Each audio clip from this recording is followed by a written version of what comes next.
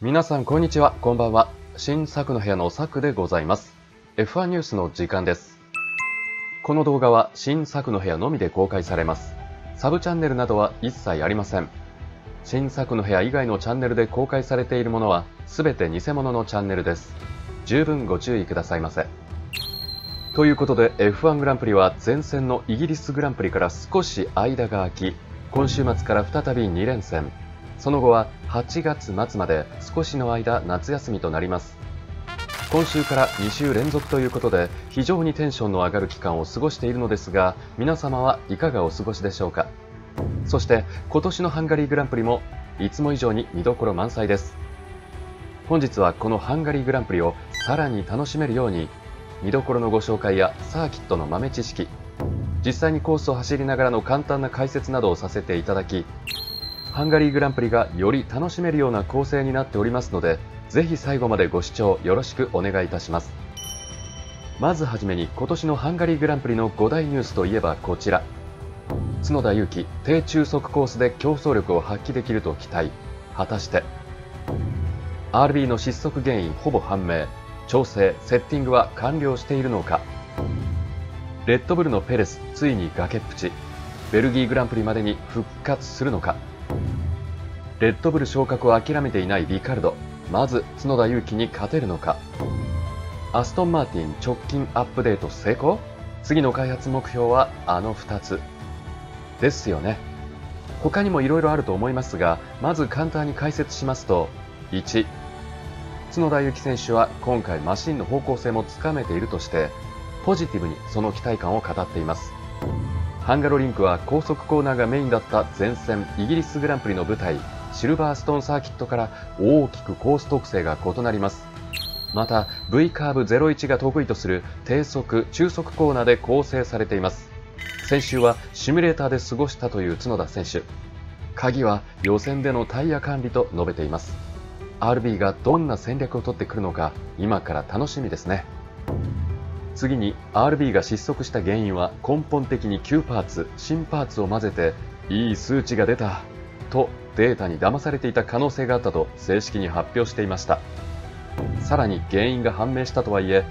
前線イギリスではスタートダッシュそして天候が走行して角田選手は入賞できました。通常走行では入賞は難しいと言われた RB 角田選手ですが入賞することができました。ハンガリーグランプリは自信があるということで連続入賞を期待しましょう。そしてその RB ですが次のアップデートはサマーブレイク明けと発表しています。8月下旬のオランダグランプリから大躍進することができるのでしょうか。次にまさかこんなことが起ころうとは。レッドブルのセルジオ・ペレスついに崖っぷちです。というのも実は昨年もこの時期に調子を崩してシート喪失の噂がありました。スランプに陥ってたペレスですが昨年のハンガリーグランプリでは復活して3位表彰台を獲得しています。噂によるとベルギーグランプリ終了時点でフェルスタッペンとの差が100ポイント以上。ドライバーズランク順位5つ以上空いたらやばいとかなんとか。というか現時点で137ポイント差で残り2戦。パフォーマンス条項発動するのでは？実際に執行するかわからないですがプレッシャーから解放させてこれをクリアさせる目的でペレスとの契約を延長しましたが逆にあだとなってしまったのでしょうか。心配ですね。そしてそのペレスの後釜を狙うリカルド選手。もちろん RB のマシン開発にも携わる大変素晴らしい選手なのですが正直ペレスより速いとは思えません。レッドブルのマシンはフェルスタッペンの好みに仕上げられていてその好みと同じ仕様が好きな角田選手が適任かと思いますがペレス鋼鉄の話をするのはまだ時期尚早。今はリカルド選手に頑張ってもらって少なくとも角田選手とまだ本戦決勝で成し遂げられていないダブル入賞を果たしてそしてハースとの差を広げてください。最後にアストンマーティンはイギリスグランプリで AMR24 に投入したアップデートを機能させることに成功しました。しかし上位争いに戻るためにはまだ課題が残っているようです。イギリスグランプリで新しいフロントウィングを投入。その甲斐あってかアストンマーティンは7位と8位を獲得。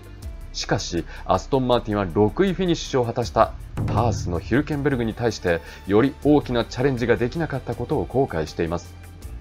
次なるステップについて開発路線の目標は2つ。1つは効率的なダウンフォースを加えることともう1つは長いコーナーでの厄介なマシン特性を抑え続けることだと言います。アストンマーティンは今週のハンガリーグランプリとベルギーグランプリの2レースでアップデートを計画していますのでこれは RB にとってはかなり痛いかもしれませんちなみに番外編ですが、イギリスグランプリでは宿敵ハースのヒルケンベルグに見事なまでに大量ポイントを獲得され、コンストラクターズランキングのポイント差が縮まり、おまけにストロールにも入賞され、角田選手のドライバーズランキングが12位になってしまいました。まだまだ後半戦が残っています。なんとしてでもドライバーズランキング10位以上で今シーズンを終えてほしいと思います。それではより詳しく見ていきましょう。まずは今回のタイムスケジュールです。さあ今週末は FP1 から FP3 という通常通りのスケジュールです各チームのセッティングとか戦略とかどうするのかなと考えるだけでワクワクが止まりません補足情報ですがこのハンガロリンクは使用頻度がかなり少ないので例年グランプリ初日金曜の路面は非常に汚く荒れているのでトラックエボリューションがかなり大きいです。FP1 ではそのあたりも注目です。そしてハンガリーグランプリも日本時間的にはかなり見やすい時間帯かと思います。今週末も日付は変わりますが土曜日は FP2、FP3 予選がありますので大忙しです。皆さん一緒に素敵な週末にしましょう。それでは次にピレリ発表のタイヤ情報です。持ち込まれるタイヤは C3 ハード C4 ミディアム C5 ソフトとなっています。次にこちらをご覧ください。後ほど詳しく解説しますがご覧の通りタイヤに関してはそこそこ厳しいコースになります。ハンガリーグランプリは1年で最も暑い時期の開催となるため平均気温も路面温度も高温となりコンディションは厳しくなりますマシンの冷却性能が重要なファクターの一つでありブレーキやエンジントラブルに注意が必要となります各チームはどんな戦略で戦ってくるのか非常に楽しみですねそれでは参考までに2023年のハンガリーグランプリ1位から3位のタイヤ戦略はこうなっていました。1位フェルスタッペン、ミディアムハードミディアム。2位ノリス、ミディアムハードミディアム。3位ペレス、ハードミディアムミディアム。15位角田選手、ソフトハードミディアム。基本的に2ストップのコースになりますが、ミディアムスタートなのか、ハードスタートなのか、それともセーフティーカーを見越したギャンブルでソフトスタートなのか見ものですねそして2023年のハンガリーグランプリを覚えていらっしゃいますでしょうか昨年は連続ポールこそ逃したフェルスタッペンでしたがレースでは完膚なきまでにライバルを打ちのめしレッドブルは新たな記録を打ち立てました当時フェルスタッペンは5月から負けなしの7連勝レッドブルは12連勝で新記録を樹立したグランプリでしたそしてもう一つ。昨年、アルファタウリはイギリスグランプリ後にニック・デフリースの更迭を発表。空いたシートにレッドブルのリザーブドライバーだったダニエル・リカルド選手が正式に復帰したグランプリでもあります。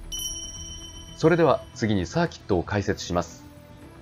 ハンガロリンクはハンガリーの首都ブダペストから北東に約20キロのモジョロードに位置するレーシングサーキットで F1 ハンガリーグランプリの舞台として知られており、2032年までの契約を結んでいます。例年、シーズン中のテストコースとして用いられてきたほか、伝統的に前半戦最後のグランプリであるため、チームやドライバーにとっては夏休みの始まりを予感させるサーキットでもあります。ちなみにオーストリアグランプリの舞台であるレッドブルリンクと比較的距離が近いので、物流的な観点から毎年似たような時期に開催されます。そして忘れてはいけません。第1期マクラーレン・ホンダ時代の1991年第10戦ハンガリーグランプリでは直前に亡くなられた本田宗一郎氏を追悼すべくアイルトン・セナを含めたマクラーレン・ホンダのチーム全員が喪章をつけて会場入り当時5戦ぶりに予選でポールポジションを獲得したセナは一度もラップリーダーを譲ることなく優勝。久々の勝利をホンダ創業者に捧げました。それではコースレイアウトを見ていきましょう。全長4381メートルターン数14のコースを周回数70周で競います。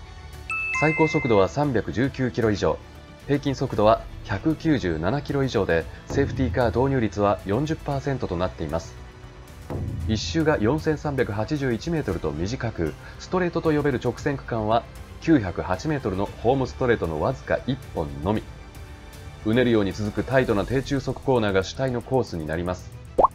全14のコーナーのうち6つが左8つが右コーナー。DRS ゾーンはホームストレートとターン1から2の間2箇所に設置されます。多くは複合コーナーですので俊敏な方向転換が要求されます。直線区間が1箇所のみかつ低中速コーナーが主体であるためエンジン全開率が低くエンジン性能差が露呈しにくいコースです。エンジンパワーで劣るチームにとって大きなチャンスとなります。ちなみにここハンガロリンクよりも全開率が低いのはどこだと思いますか？それはシンガポールとモナコのみなんですね。そのためチームは最大ダウンフォースレベルのパッケージで週末に臨んできます。最高速度は時速318キロに過ぎず F1 カレンダーの中で最もトップスピードが低い部類に属します。1ラップ中のストレート走行時間は10秒程度残りの65秒程度はコーナリングに費やされます。そのためドライバーへの身体的要求がかなり厳しいんですね。ここはターン1のブレーキングポイントまで距離が 387.84m と比較的長く、レーシングライン側の奇数列スタートがアドバンテージを得ます。スタート直後のオーバーテイクには要注目です。それではハンガロリンクを実際に走ってみましょう。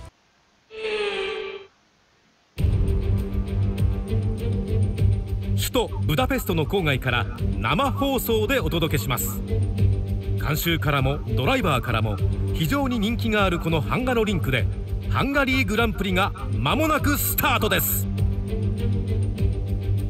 舞台はブダペストの北西に位置する全長4.38キロのハンガロリンクサーキット。コーナーは右8左6の合計14何よりも重要なのはダウンフォース。オーバーテイクは至難の業です。このコースには多くのダウンフォースが必要だ。だからトップスピードはあまり出ない。だがその代わり DRS はより効果的になる。レースでそれを最大限に生かして予選通過しよう。それでは今からこの V カーブ01で相性がいいと言われているハンガロリンクを走っていきたいと思います。それではスタートいたしましょう。これからご覧いただくんですけどもこのコースはコース幅が狭くてストレートが短いので追い抜きが困難なことで知られています。オーバーテイクが難しいという点でハンガロリンクは壁のないモナコと形容されます。ただしブレーキング勝負に持ち込めるようなマシンであれば先ほどのターン1そして次のターン2が有望なオーバーテイクポイントとなります。ロングストレートがなくタイトなコーナーが連続するのでドライバーにとっては一瞬たりとも気が抜けない極めてテクニカルなサーキットで1つのコーナーでのミスが次のコーナーにどんどん直結していくので些細なエラーが大きな命取りとなります。そしてこのターン4について後でお話ししますのでこのターン4覚えておいてくださいね。あとは立地的に天気が比較的不安定なのでそこも注意です。ちなみに2006年の雨のハンガリーグランプリでジェンソン・バトンが14番手からの逆転優勝を飾っていましてハンガロリンクでの F1 史上最も低いグリッドからの優勝記録となっています。さあ先ほどターン4のことというお話だったんですけどもこのコースでの事故でヘイローができたのをご存知でしょうか？2009年の F1 ハンガリーグランプリの予選でバリチェロの車体から脱落したヒーブダンバーのスプリングが後続のフェリペ・マッサのヘルメットを直撃する事故が発生したんですね。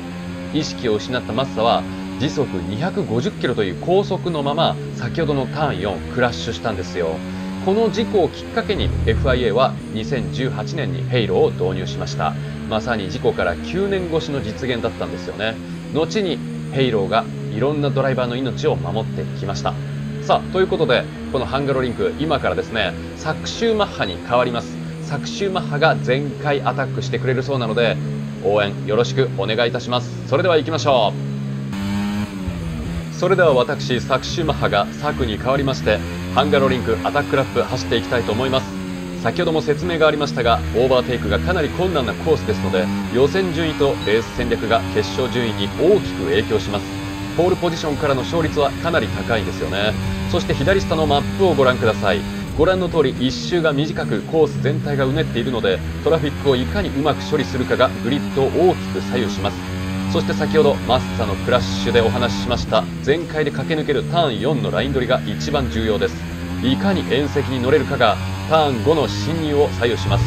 セクター2には高速のロングコーナーもあるのでダウンフォースとマシンの応答性そしてリズムよく走るドライバーの腕が必要となります。今のはあまり良くなかったですねターン4そしてこのコース優勝候補に数えられるドライバーが渋滞にはまりまっとうなタイムを出せずに予選を終えることもしばしばあるので時折大きな番狂わせが起こるグランプリです。そしてフロント、リアともにタイヤへの負荷は大きいのでコーナー進入時のスタビリティと出口でのトラクションの高さそして完璧なライン取りのための高いドライバビリティを持つエンジンとシャシーが要求されます。先ほどもありましたがここではあまり頻繁にレースが開催されないため路面は汚れがちです。週末を通してグリップが増しタイムが改善されていく傾向にあるのでフリー走行から注目です。さあセクター1、2全体ベストできてます。パープル表示さすが世界の男佐久島派セクター3うまくまとめ上げられるのか？さあ全体ベストファステストラップさすが世界の男佐久島派みんなありがとう。この日のために日本語めちゃくちゃ勉強したよ。いやいやいやいや頑張ったんですけどね。世界の佐久島派どうした？シート失うぞおい。ということで今週末も僕の代わりに本物の F1 ドライバーたちが素晴らしい走りを見せてくれると思います。今週末もいろんな意味で見どころ満載のハンガリーグランプリ。ドライバーズランキング再び10位になるために角田裕樹選手頑張ってください。もちろんリカルド選手も応援しています。ハンガリーグランプリでは一体どんなドラマが生まれるのでしょうか？皆さんのご意見ご感想もお待ちしていますそれでは皆様本日も最後までご視聴いただきましてありがとうございました。新作の部屋の作でした。